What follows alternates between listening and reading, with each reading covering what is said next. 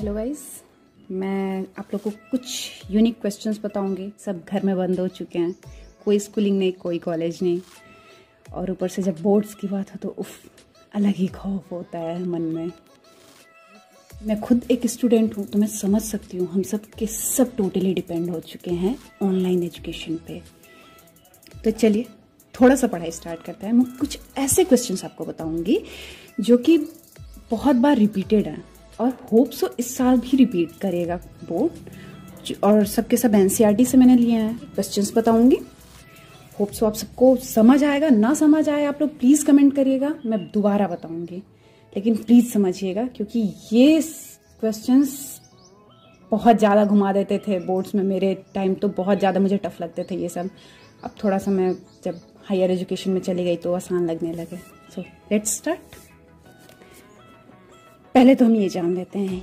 ये टर्म जो होता है, इसे कहते हैं हम ए इसे कहते हैं बी और इसे कहते हैं सी ठीक है? क्वाड्रेटिक टर्म में। इसे हम कह सकते हैं ए एक्स स्क्वायर प्लस और minus anything b x plus और minus c is equals to zero okay fine अब इस पे हम लोग क्वेश्चंस करेंगे।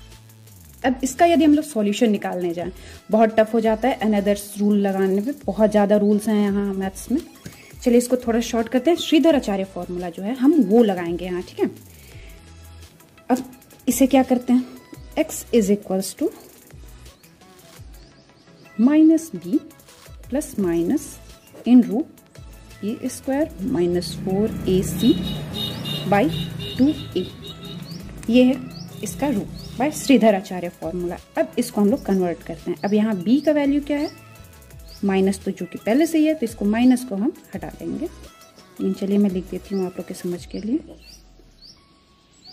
प्लस माइनस इसका स्क्वायर करेंगे हम लोग। माइनस फोर ए का वैल्यू यहाँ थ्री है, और सी का वैल्यू यहाँ टू है।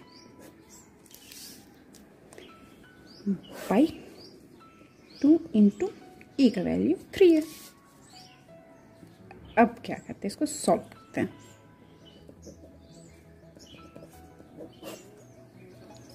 हो जाएगा और टोटल हमारा हो जाएगा थर्टी सिक्स माइनस ये हो जाएगा thirty six I don't think so कि थर्टी सिक्स होगा ट्वेंटी फोर होगा। चलिए इसको नेक्स्ट लाइन में कर देते हैं।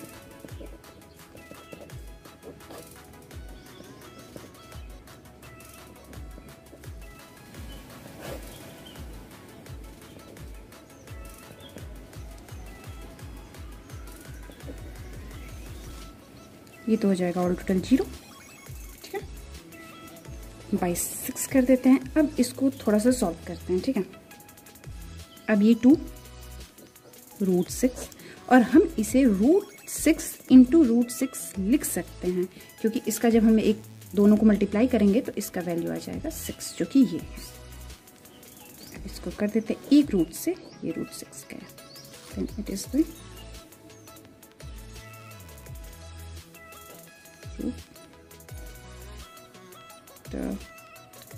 two root six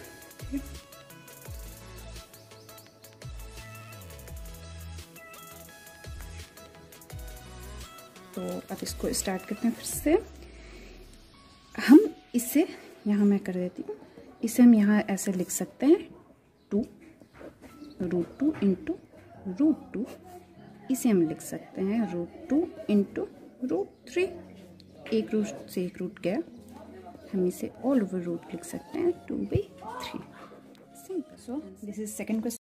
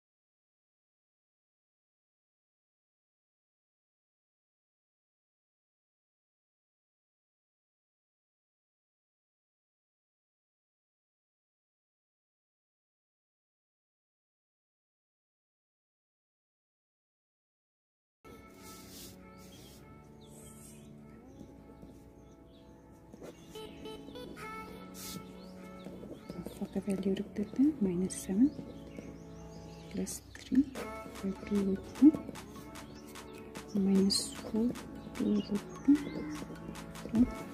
minus two by root two root two into root two minus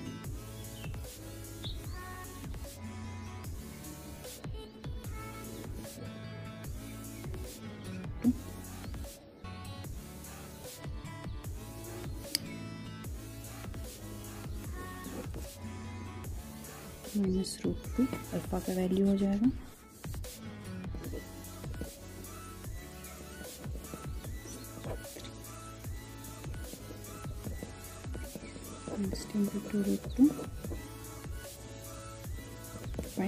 Minus five by root two alpha और बीटा का वैल्यू हो जाएगा minus two minus five by root two let's start question number four इसको हम थोड़ा सा simplify करते हैं। इसको सबको टू से डिवाइड कर देते हैं।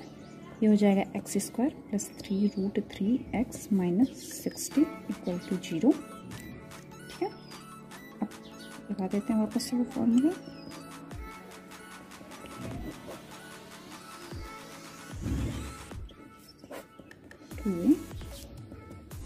अब इसको डायरेक्ट वो कर देते हैं। तोड़ देते हैं। Minus three, root three plus minus हो जाएगा। One forty seven by two थोड़ा और तोड़ते हैं।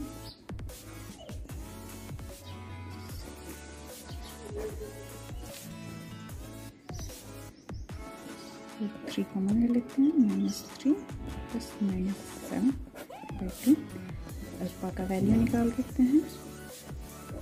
Minus three plus seven by two ये हो जाएगा हमारा four root three by two then two root three is equals to alpha beta equals to root three minus three minus seven by two minus ten root three by two minus 5 root 3 hence alpha and beta equals to 2 root 3 and minus 5 root 3 answer ये last question है इस video का। अब इसे करते हैं। इसको इससे मल्टीप्लाई करते हैं, ठीक है? देन हो जाएगा x square minus one by x equals to three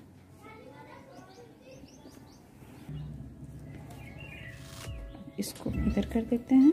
x square minus one equal to three x x square minus three x minus one equals to zero ना ए का वैल्यू तो one B का value three और C का value one है। Actually लगा देते हैं। X equals to minus b plus minus root over b square minus four a c by two a minus three plus minus b square यहाँ क्या हो जाएगा? Nine minus four a c minus minus plus हो जाएगा। Four by two minus three plus minus minus ये हो जाएगा root thirteen by to ठीक है? अब अल्फ़ा का निकाल देते हैं वैल्यू अल्फ़ा का हो जाएगा।